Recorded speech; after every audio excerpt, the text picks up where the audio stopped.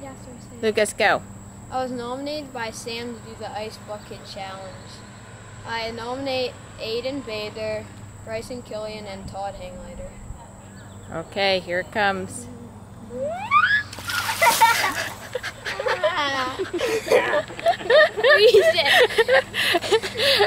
okay, oh, well done. I didn't even get his head. I got his. I know.